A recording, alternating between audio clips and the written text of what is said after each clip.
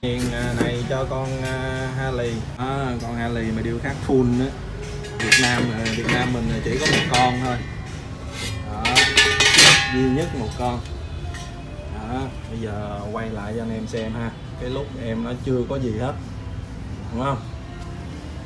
À, chưa có một đường nét gì ở trên cái niền này hết. Thì uh, Alan sẽ uh, điêu khắc ở trên này. Thì cái khó của cái cặp niền này á là nó nằm ở trong cái lồng xoay. Thứ hai là các cái đường nét chi tiết của ờ, cái cái cái cặp niền này thì ờ, rất là khó để vào để vào các cái cái cái bông ha. Thì uh, phải suy nghĩ như thế nào để uh, cái cái chi tiết này khi mình vào nó liền lạc nó liền lạc. Uh, cả ở cái mặt vành này Ờ, uh, vành này và ở cái trên mặt này. Đó cái khó của nó. Thứ hai là về cái việc mà xoay chuyển ha. Xoay chuyển. Đây bên này khác. Bên này khác. Thì Alan chỉ mới hình dung như vậy thôi còn không là xoay qua bên này. Đó cứ mỗi nén bên này là mình phải xoay qua bên này ha. Làm sao mình uh, phối với nó để mình cắt về mặt uh, không gian bố trí cũng như là khi mình cắt thì mình phải ờ, xoay chuyển như thế nào cho nó phù hợp. À, cái tướng mình xoay chuyển như thế nào phù hợp. Đây là cái món đồ là khá to. Cái này rồi mình ngắt một cái mình làm ờ, cái cái cái, cái miền nhỏ ha. Cái miền nhỏ thì nó bự hơn cái này. Cái này là miền lớn. Rồi ok. Giờ mình vẽ nha.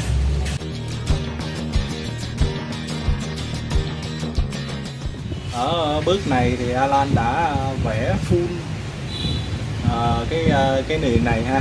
Thì à, tới cái niền con kia thì mình cũng làm theo cái kiểu này. Đó thì bây giờ Alan cho anh em xem. Trước khi Alan cắt nhé. Trong cái lúc mà Alan làm thì Alan làm tới đâu vẽ tới đó. Ha mình sẽ quay nhanh cho anh em xem. Tại cái này cũng khá mất là nhiều nhiều thời gian. Ha một cái thôi mà với cái lượng hoa văn như thế này anh em có thể thấy. À, bây giờ Alan à, tiến hành nhé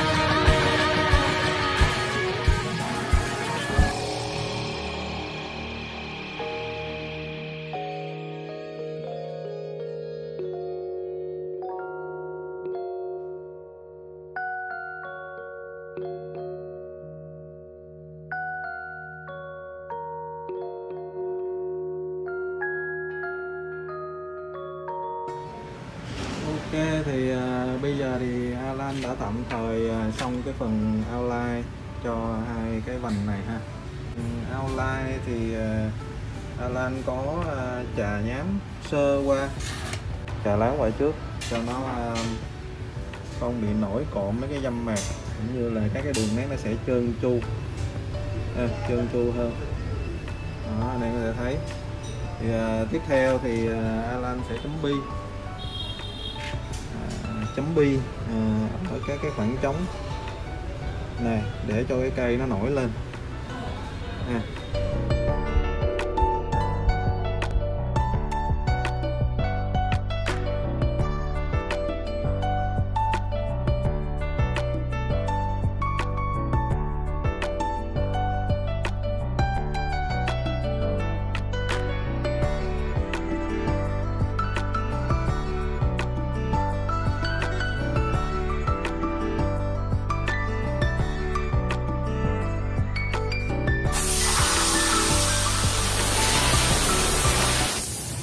Lan đã ờ, hoàn tất ờ, cái cặp vành này ha thì ờ, cái khoảng thời gian mà anh Lan làm đó thì phải khoảng 3 tuần. À, từ lúc lên ý tưởng cũng như là lúc cắt. À, 3 tuần là khoảng thời gian là bao nhiêu vừa làm vừa nghỉ. Còn nếu mà làm tập trung làm liên tục thì khoảng 2 tuần khoảng 2 tuần. Thì toàn bộ những cái hoa văn ở đây thì như anh em thấy thì à, cái vành này thì anh Lan cắt full hết anh đây đó. Cái hoa văn này thì uh, Alan làm cái, uh, cái cái cây bông nó chạy nó chạy đôi ha. Hai cái chàng bông nó chạy chung với nhau nó chạy đôi. Chạy song song với nhau. Thì uh, trong cái uh, cái niềm lớn này lớn này cũng vậy ha. Thì uh, ở đây anh em có thể thấy là các cái hoa văn thì ở đây cũng hai cái song song mà cái niềm về độ lớn nó lớn hơn rất nhiều. Cho nên là việc điêu khắc nó rất là cực. À, khó khó nhất là ở cái phần là các cái phần uốn éo của cái à, cái cây. Thì mình phải đưa cái mũi đục. Cái mũi đục làm sao cho nó vô nó xoay chuyển được. À, làm sao cho nó vô được hết các cái uh, cái đường nét. À, nó không bị dâm mạc. À, dâm mạc hoặc là hư. À, là thời gian mình tốn kém nhiều nhất là cho việc chấm bi à, chấm bi rất là đầu đầu tay và cổ tay với các cái ngón tay ha do sắt à, sắt là sắt dạng sắt hợp kim á, chứ nó không phải là sắt thô sắt bền mà sắt này là sắt cứng nè sắt hợp kim nè nó có độ dẻo của nó để mình rút cong nhưng mà cơ bản nó là sắt cứng à, thì à, về chất liệu thì lúc mà la làm thì cảm giác nó giống như là gần như là inox à, gần như là inox luôn rồi về độ cứng rất là cứng nên là làm mình làm rất là mạnh. Mà phóng loáng của cái đường nét chi tiết á. thì à, cái này mình sẽ gửi cho thợ bóng thợ bóng và thợ si á thì họ sẽ nhiệm vụ của họ là họ bóng qua lại cho mình và họ si. Và sau đó thì à, giao cho khách à, cái xe cái điều này khi bộ hoàn chỉnh lên xe á, thì à, là sẽ à, à quay nguyên con xe. trong năm 2021 à, hồi tháng đầu năm gì đó. Thì à, rất là cảm ơn em à, à, yêu thích cái video này cũng như là